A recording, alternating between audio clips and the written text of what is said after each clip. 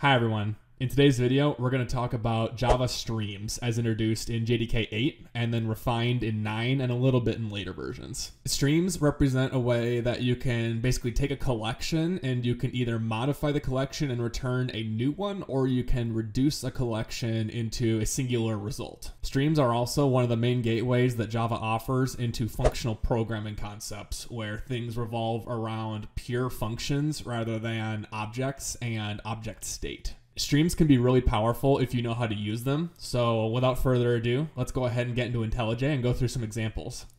So I mentioned that streams are a way that you can manipulate something like a collection into another collection. For this first example, I'm going to generate some code that you would use pre-streams, and then I'm going to modify it to convert it to using a stream instead.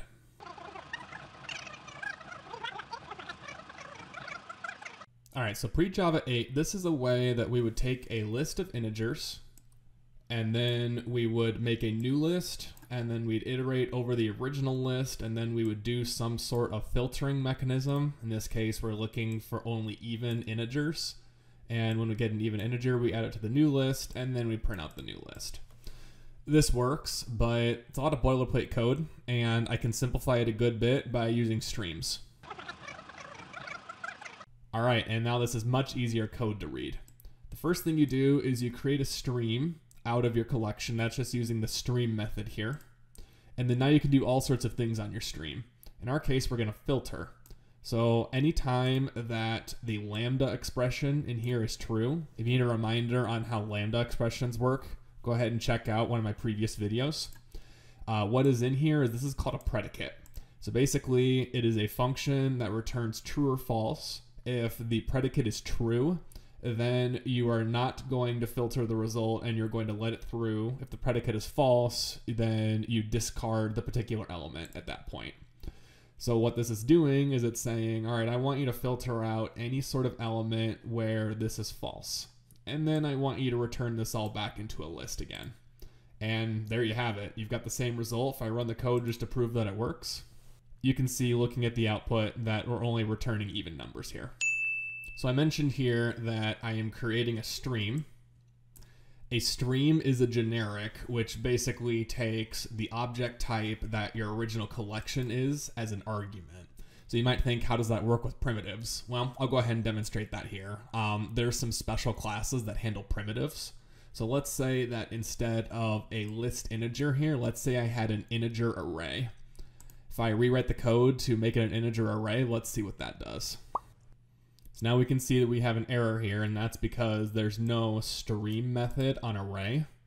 So what you want to do instead is you want to do arrays.stream, and then you pass in the array at that point. So now you would say original. But now see we have another error. We have the filter method, like we would expect, but then we don't have the toList method. By the way, toList was added in JDK 16. So instead of toList, I'm going to go ahead and use the collect method this time just to demonstrate the issue in a pre-JDK 16 version. So the typical way you used to do it is you would do collect collectors toList. But you notice there's still an error here too.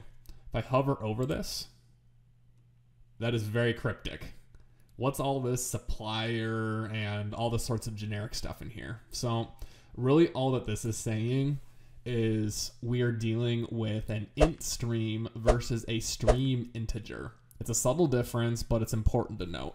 With an int stream, what you have to do if you want to use some of the methods that stream generally has, then you want to use boxed. And you can see that IntelliJ just showed me what happened there. I started with an int stream, and then now I just converted it into a stream integer. You don't always want to use boxed because you'll notice that I converted from an integer array into a list. So in this case, I am converting between an array type and a generic type, so I needed to use boxed, but you don't always have to do that. Another way you can do this if you don't want to return a list and you want to go back to returning an integer array. So let's say that I want to do something like this. Now what you can do is you can say filter dot to array. And then if we do that, we'll need to do arrays dot to string like that. And then we'll see that this shows the same result as before. Great. So there's a lot more that you can do with stream rather than just filtering results. Let's go ahead and for every element in the array, let's map it to have 2x the value of its current value. To do that with streams, you'd use the map method and the lambda expression is that you, for each element, you want to do a certain thing on the element. In this case, I'm saying for every element in the array, I want to double it. Let's run the code and I can't confirm if these large numbers are actually the doubles, but these smaller numbers look correct, so I'm pretty sure these are going to be correct too. Let's say I want to get a little more fancy. Instead of just doubling the integer, I want to take the square root of each of these numbers. So the first thing is I need to, instead of returning an integer, the square root function takes a double. So now that I'm returning a double, since this is an int stream, I actually need to use a slightly different method here. I need to use map to double. And now I need to actually take the square root. So I can do math dot square root of i. And this lambda expression works, but it's a little redundant. You can actually replace this whole thing with what's called a method reference. And then you would look like this. All right, that looks pretty neat, huh?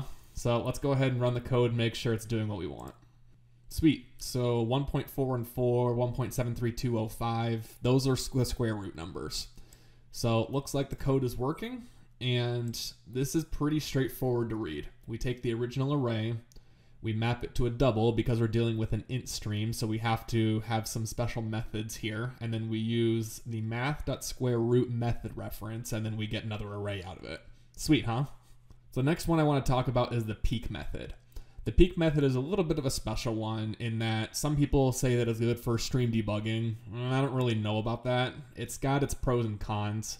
Really, as long as you understand the limitations and what to expect, it can do a good job, but you want to make sure that you are careful with how you use it.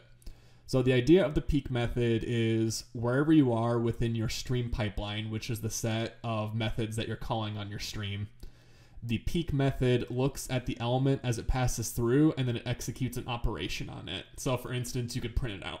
To do that, we're going to use peek and we're going to use another method reference.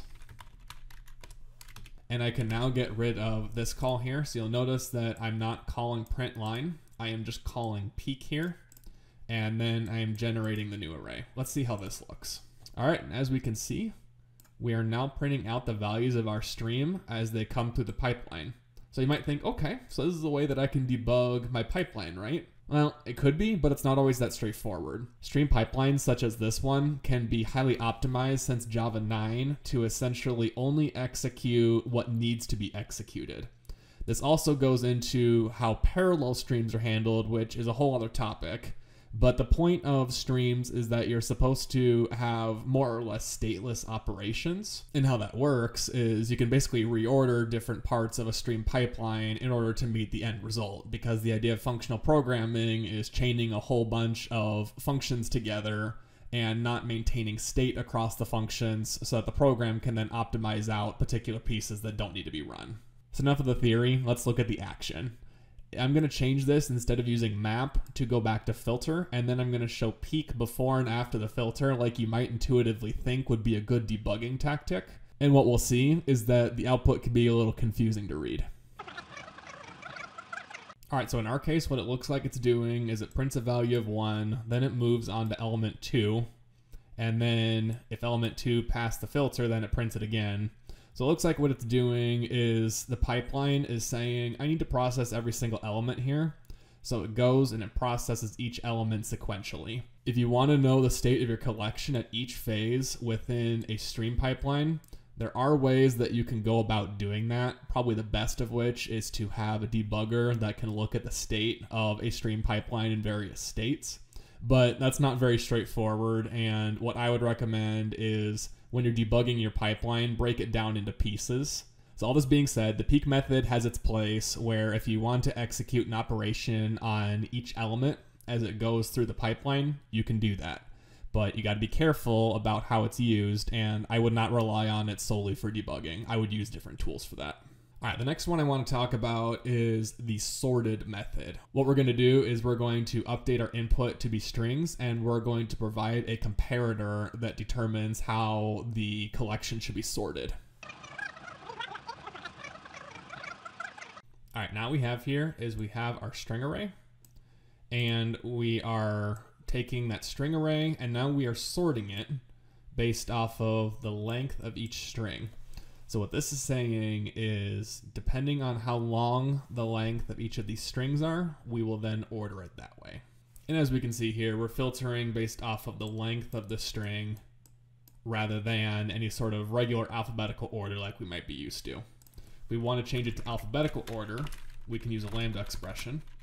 I can say s.char at 0 this isn't particularly safe because care at zero is going to fail if we had an empty string, but we know that we don't have that in this case. So for the purposes of demonstration, we can see that in this case, now we are sorting the list in what we would normally think of as alphabetical order. Now, so far, we spent quite a bit of time talking about the middle method within our pipeline, whether that be filter, map, sorted, whatever that may be. These are all called intermediate operations, and you can chain intermediate operations.